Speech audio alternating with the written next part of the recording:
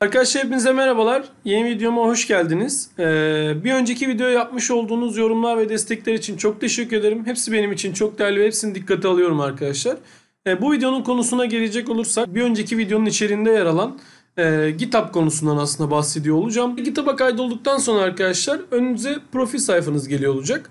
Profil sayfasının sol tarafında e, size ait bir profil resmi, altında adınız, kullanıcı adınız, iletişim bilgileriniz ve organizasyonlarınızı içeren bir panel bulunmakta. Orta bölüme gelecek olursak arkadaşlar, orta bölümde sizin e, sabitlemiş olduğunuz projeleri içeren bir panel bulunmakta. Burada 6 tane projenizi yeni gelen bir insan için profilinize veya önceden ziyaret etmiş bir kişi için neler yaptığınızı göstermek adına e, listeleyebiliyorsunuz. Bunları customize your pins diyerek aslında değiştirebiliyorsunuz ve hangilerinin listeleneceğini çok rahat bir şekilde seçebiliyorsunuz arkadaşlar. E, örneğin birini seçip save pins dediğinizde direkt ekranda buraya listeleniyor ve bunun aslında yerini de değiştirmek isterseniz tutup sürükleyip bırakarak çok rahat bir şekilde sıralamasını da değiştirebiliyorsunuz.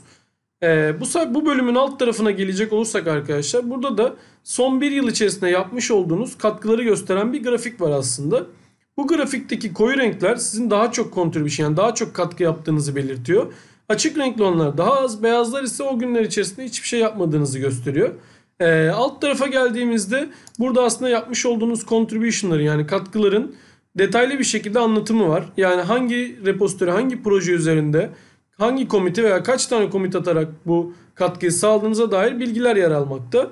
E buradan yıllarını değiştirerek farklı yıllarda neler yaptığınıza dair bilgileri de görebiliyorsunuz. Üst tarafa tekrar gelecek olursak arkadaşlar burada da e, size ait projeleri görüntüleyebildiğiniz bir sekme var aslında. Burada type'a göre veya işte atıyorum size sadece açık olan private bir projeniz vardır. Bunu görüntüleyebildiğiniz veya forkladığınız yani başka repolardan farklı insanlara ait projeleri forkladığınız bölüm bulunmakta. Buradan atıyorum C Sharp projesi şeklinde veya filtreleyebiliyorsunuz.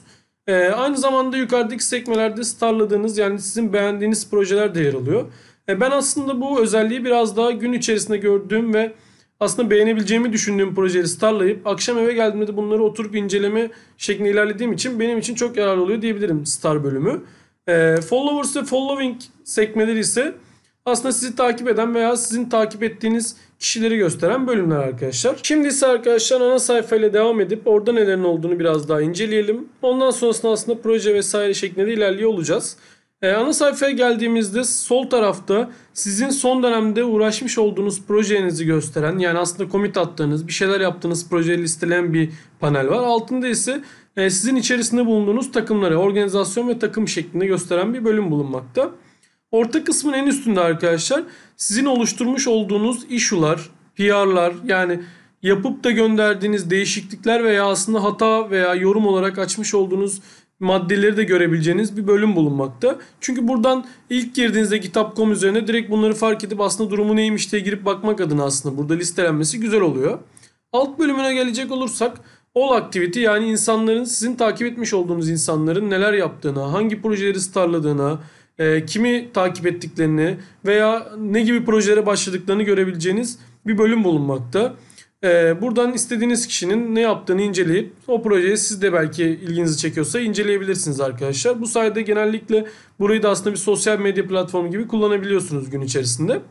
Sağ tarafa geldiğimizde de aslında GitHub üzerinde popüler olan e, star puanı olarak yüksek projeleri ve repoları görebiliyorsunuz arkadaşlar burada da. Ee, buradan sonra şu an aslında aklımda devam etmek istediğim bölüm organizasyonlar. Kısaca hemen organizasyonlardan bahsedelim. Bunu bahsederken de aslında açık kaynaktan bahsediyor olacağım. Açık kaynak organizasyonuna ben de üyeyim arkadaşlar. Bu organizasyon sayfasına da girdiğinizde sizin üye olduğunuz organizasyonlarda kimlerin de dahil olduğunu, hangi dillerde yazılımların üretildiğini, yine aynı şekilde organizasyonların pinlediği e, projeleri veya işte alt tarafta da tüm projenizi isteyen bir bölüm bulunmakta. Burada da yine aynı şekilde private, public, işte forklanan projeler veya dillere göre bir filtreleme yapılabiliyor rahatça. Organizasyonlar ve ana sayfa bölümlerini biraz daha hızlı geçmeye çalıştım. Çünkü e, bunları çok kolayca kendiniz de deneyimleyebilirsiniz. Ben daha çok bir proje oluşturulması, bir e, aslında bir komit atılması ve PR'ın oluşturulması hakkında bilgi vermek istiyorum. Bu yüzden bir ana sayfaya tekrar dönelim arkadaşlar. Ee, burada ana sayfada sağ üstte bir artı işareti bulunmakta. Buradan New Repository deyip aslında proje oluşturabiliyorsunuz. Aynı zamanda organizasyon ve GIST vesaire de oluşturulabiliyor buradan. Veya sol tarafta yine repository bölümünden new diyerek de buradan da bir e, yeni bir proje oluşturabiliyorsunuz. Bir proje oluşturalım yeni. E, YouTube test diyelim projenin adına. E, test olarak belirleyelim. Description'ını da e, public veya private olduğu seçeneğini size sunuyor. Buradan aslında sadece ben mi görüntüleyeyim yoksa açık mı olsun proje bunu da belirleyebiliyorsunuz. Alt tarafına geldiğimizde arkadaşlar bir readme yani bir projenin altında dokümantasyonu onu gösteren bir şey olacak mı? İstiyorsanız direkt sizin için initialize edebiliyor burada. Evet initialize etsin diyelim. Git ignore dediği konu ise e, Git'in üzerine atmak istemediğiniz sadece kendi bilgisayarınızda development ortamı üzerinde kullanacağınız şeyleri belirlediğiniz bir dosya aslında yine. Bunu da sizin için başta ekleyebiliyor. Ekleyebiliyorsunuz. Buradan atıyorum npm deyip not paketlerinin gitmesini vesaire engelleyebiliyorsunuz aslında e, projenize. Şimdilik bir şey eklemeden e, repository oluşturalım. Bu ismi uygun olarak görüp aslında sizin için repository oluşturuyor şu an. Ve repository oluşturduktan sonra bu şekilde bir sayfa geliyor arkadaşlar önümüze. Ee, burada işte yatmış olduğunuz commit sayısı, bu repository'e ait olan branch sayısı, işte paket sayısı, release yani sizin aslında release olarak çıkmış olduğunuz versiyonları gösteren bölüm. Sizin size destek olan başka kişilerin olup olmadığını gösteren bir contributor bölümü bulunmakta. Yine burada description olarak belirlediğiniz test de burada yer alıyor. Readme dediğim aslında readme initialize edeyim mi diye size sorduğu bölümde de buraya initialize ediyor. Bu da aslında proje dosyanızdan birisi. Şimdi arkadaşlar burada issues adında bir sekme bulunmakta. E, issues dediğimiz bölüm aslında projede bulduğunuz hataları, aynı zamanda yeni yapmak istediğiniz geliştirmeleri, önerileri, başkalarının sizin için sunabileceği önerilerini, sizin de başka projeler için sunabileceğiniz önerileri açtığınız bölümler. Burada örneğin bu proje için biz bir açıklama eklenecektir gibi bir e, açıklama eklenecektir şeklinde bir issue açalım. Lütfen açıklama eklemeyi unutmayınız diyelim işin içeriğine de. Buradan sağ tarafta bu işi kime esan etmek istiyorsunuz? Yani bu hatayı kim çözecek, bu öneriyi kim dikkate alacak veya bu, buraya yorum yapmasını istediğiniz insanları esan edebiliyorsunuz bu e, issue'yu. Ben o kendi üzerime esan ediyorum. Ben yapacağım gibi düşünün. Buradan label'lar var. Yani label'lar dediği şey issue'ların yanında bunun bug mı, işte yeni bir geliştirme mi veya bir soru mu, bir öneri mi, bir yardım mı bekleniyor? Bununla ilgili aslında e, tagleyebildiğiniz yani sizin etiketlemenizi sağlayan bir e, işaret aslında. Buradan bir bunun aslında biz enhancement yani yeni bir geliştirme olduğunu gö- gösteriyoruz label'ını seçerek. Projede isterseniz e, profil sayfasında da bahsetmiştim. GitHub üzerinden projenizi yönetip aslında işlerinizi track edebiliyorsunuz. Yani takip edebiliyorsunuz. Burada aslında hangi projeye ait olduğunu bu issue'nun e, onu seçebiliyorsunuz. Ama şu an bizim için önemli değil burası.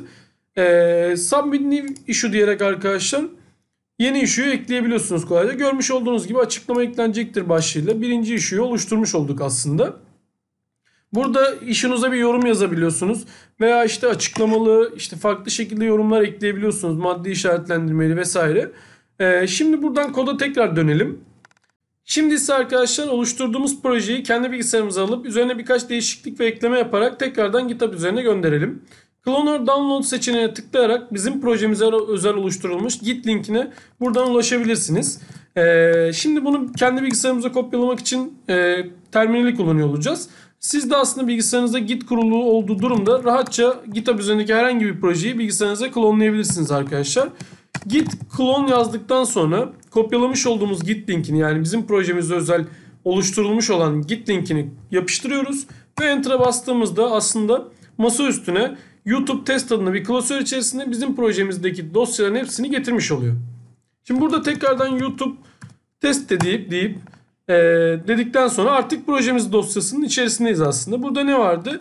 Bizim oluşturmuş olduğumuz sadece tek bir readme var. E, bunu kod nokta diyerek aslında VS Code, Visual Studio Code e, içerisinde projemizi açmış olduk. Görmüş olduğunuz gibi sol tarafta sadece bir readme dosyamız var. Projemizin adı ve bizim projemiz GitHub'daki haliyle şu an kendi bilgisayarımızda yer alıyor. Şimdi ise arkadaşlar birazcık branchlerden bahsediyor olacağım. GitHub üzerinde bir proje oluşturduğunuzda bir branch default olarak oluşuyor arkadaşlar. Bu da master branch'i. Master branch üzerine sizin oluşturduğunuz ilk haliyle proje oluşturulmuş oluyor. Siz kendi geliştirmenizi yapmak adına farklı branchler oluşturup onlar üzerinden tekrardan master'a merge yapıyorsunuz bunları. Yani tekrardan birleştiriyorsunuz yaptığınız geliştirmeleri. Şimdi aslında temel anlamda göstermek adına ben burada bir branch oluşturup onun üzerine bir değişiklik yapıp bunu master'a nasıl birleştirirsiniz bundan bahsediyor olacağım.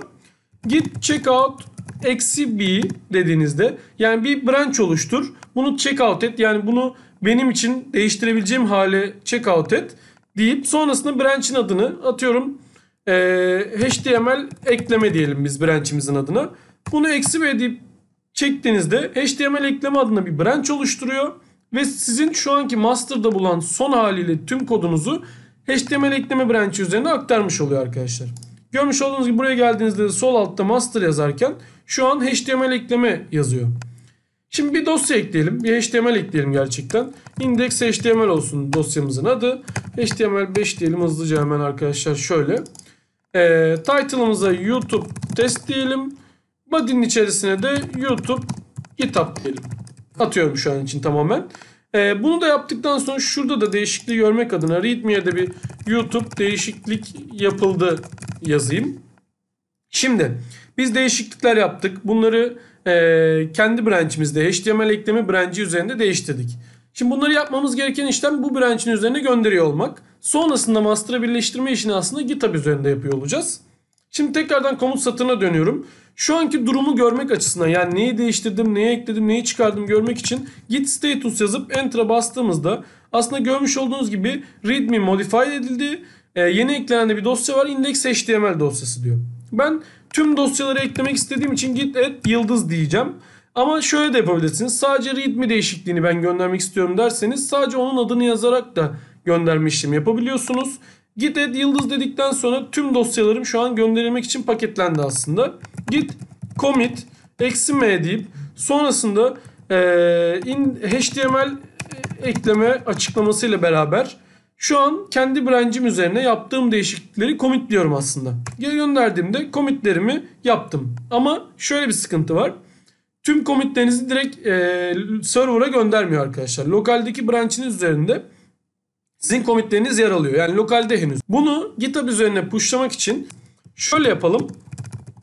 Yazalım orada dediğini arkadaşlar. E, origin HTML ekleme. Bunu dediğinizde şu an HTML ekleme branch'i üzerine gönderiyor olacak arkadaşlar sizin yaptıklarınızı. Gördüğünüz gibi şu an bir işlem başlattı. Yani upload ediyor ve upload işlemini yaptı. Ve şu an aslında gönderdi. Ve size bakın burada ne diyor. Aslında burada pull request oluşturma konusunda size yardımcı oluyor GitHub. Şey Git. E, create a pull request for HTML ekleme diyor. Yani bu branch için master'a bir pull request oluşturabilirsin. Bu linki de kullanabilirsin diyor. Şu an yapmış olduğumuz değişiklikleri aslında gönderdik. Renklerden de anlaşıldığı şekilde arkadaşlar gitti. Şu an buraya geldiğimizde tekrar projeye döndüğümüzde bakın burada bir anda bir e, compare ve pull request oluştur aslında diye bir seçenek çıktı. Bizim branch'imiz HTML ekleme olarak buraya gelmiş oldu. Compare and pull request seçeneğine tıkladığımda direkt görmüş olduğunuz gibi bir pull request açma sayfasına geldi. Burada oluşturacağımız pull request index html dosyası eklendi diyorum örneğin başlığına. Ee, HTML dosyası eklendi. Ee, readme güncellendi diyelim.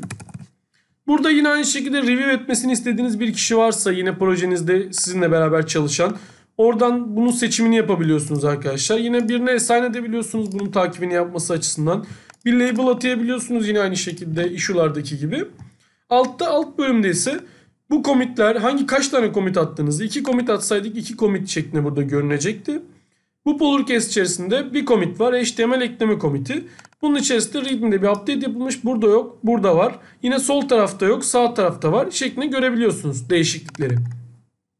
Create pull request dediğimizde bir pull request dosyası oluşturup buradaki sekmeye atacak. Evet. Şimdi burada ilk olarak yaptığı şey bir konflik var mı? Yani aynı anda farklı aynı yerde farklı bir değişiklik yapmış mı?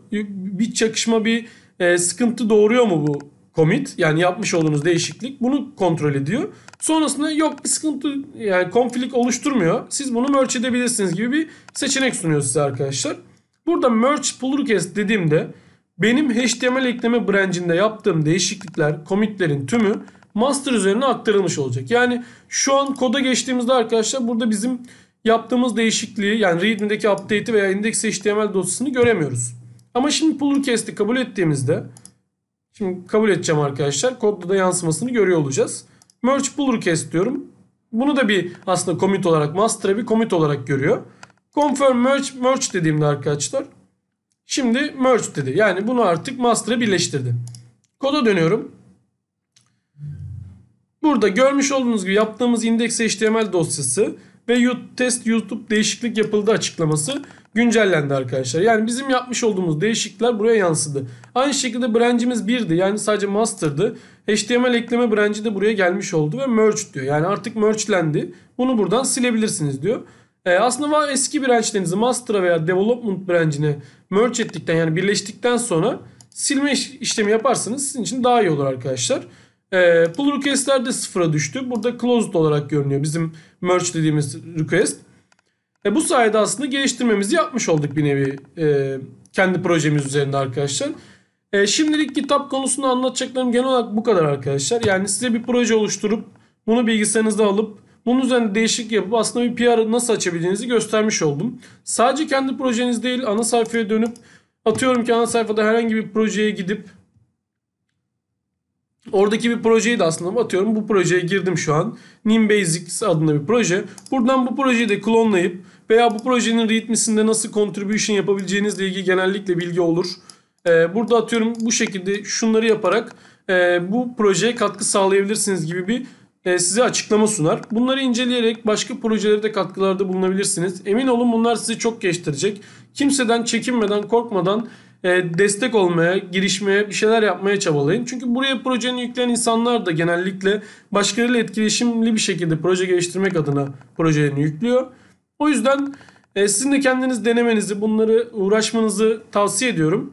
E, videoyu buraya kadar izlediğiniz için çok teşekkür ederim. Bir yanlış söylemim olduysa, e, bir hatam olduysa kusura bakmayın. Şimdiden hepinize çok teşekkür ederim. Hoşçakalın.